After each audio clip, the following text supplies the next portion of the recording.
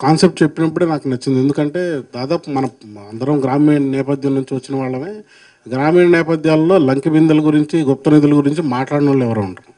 దాని గురించి జరిగిన మిస్టరీలు కానివ్వండి దాని వెనక ఉండే హత్యలు కానివ్వండి ఇవన్నీ కూడా ప్రతి గ్రామీణ నేపథ్యంలో ఉన్నటువంటి ఫోక్లోర్స్ అని మనం జానపద గాథలో కథలో ఏవైతే ఉంటాయో అవన్నీ కూడా మనం చిన్నప్పటి నుంచి వింటూ వచ్చాము.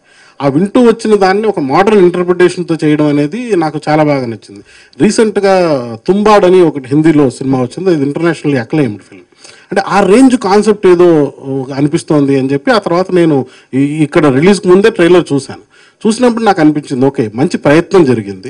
ఈ మంచి ప్రయత్నానికి మన సపోర్ట్ ఉంటే ఖచ్చితంగా జనాల వరకు రీచ్ చేయగలిగితే జనాలకు నచ్చుతుందో లేదని జనాలు డిసైడ్ చేసుకుంటారు. కానీ ఆ ప్రయత్నాన్ని అంటే ఒక కళని సాకారం చేసుకోవడం అనేది ఎంత కష్టమో మనందరికీ తెలుసు మీడియా మిత్రులందరికీ.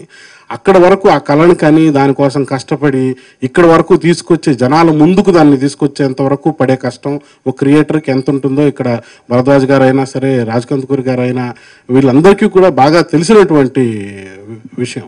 ఆ బాధని ఆ శ్రమని ఆ కష్టాన్ని షేర్ చేసుకుంటేనే ఆ విజయం వైపు ముందు ముందుకెళ్తాం అనే ఉద్దేశంతో ఖచ్చితంగా తిరుపతి మాట్లాడినప్పుడు నాకు అనిపించింది తనకు ఆ ప్యాషన్ ఉంది.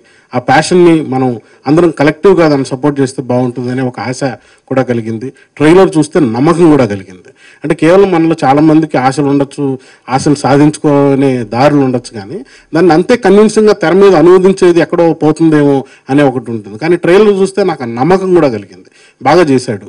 ఓకే దీన్ని మనం ముందుకు తీసుకెళ్ళగలిగితే ఖచ్చితంగా ప్రేక్షకుడు వచ్చిన వాళ్ళకి మనం మెప్పించే విధంగా ఈ సినిమా ఉంటుంది అని. అలాగే శ్రీరామ్ ఇప్పుడు బయట స్పెక్స్ పెట్టుకుని మనోడు చూస్తే ఏంటి ఇంత డీసెంట్గా ఉన్నాడు సినిమాలో అంత మాస్గా ఉన్నాడు అనిపించింది. బట్ యా uh, అంటే that is what character is all about అని. అంటే ఆ సినిమాలో ఎలా ఉండాలో అలా ఉన్నాడు ఇప్పుడు మనిషిగా బయట ఎలా ఉన్నాడు. And Karunya she has done a fabulous job నేను ఇంకొంత ఫుటేజ్ కూడా చూశాను ఈ సినిమాది. దాంట్లో తను తన పర్ఫార్మెన్స్ కానివ్వండి అంటే చిన్న చిన్న నువాన్సెస్ అంటే ఒక village girl with urban mindset దాన్ని అన్నిటిని కూడా ఇంటర్ప్రిట్ చేసిన విధానం నాకు బాగా నచ్చింది. ఈ పాత్రల్ని ఆ పాత్ర తీరుల్ని ఆ విలేజ్ బ్యాక్డ్రాప్లో వాళ్ళు ఆలోచించే విధానాల్ని అక్కడున్న చిన్న చిన్న సమస్యల్ని వీటన్నిటిని కూడా చాలా డీటెయిల్డ్గా దర్శకుడు రాసుకోవడం దాని తెర మీదకి ఎక్కించడం అనేది ఒక ఒక ఛాలెంజ్ అనే అనుకోవాలి. ఆ ఛాలెంజ్ని తిరుపతి ఖచ్చితంగా సాధించాడు. త్వరలోనే సినిమా మన ముందుకు వస్తుంది.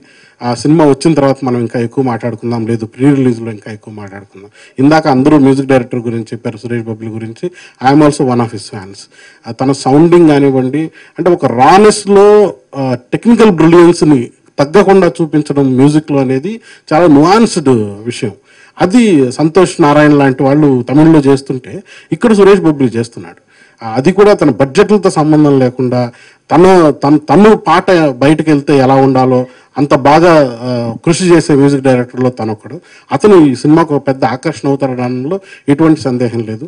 To all the cast and crew all the best and this film is going to rock ఇది ఒక different benchmark different narrative style తీసుకొస్తుందనే నమ్మకం.